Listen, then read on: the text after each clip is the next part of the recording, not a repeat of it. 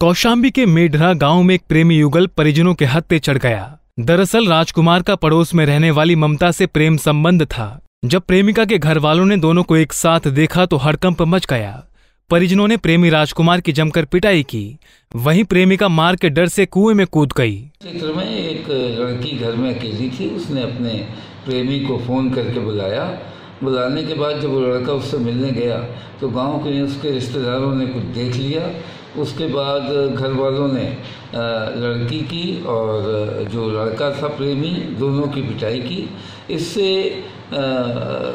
रोश में आके लड़की बाहर जाके गाँव के, गाँव में घर के बाहर एक कुआँ है, उसमें वो गिर गई।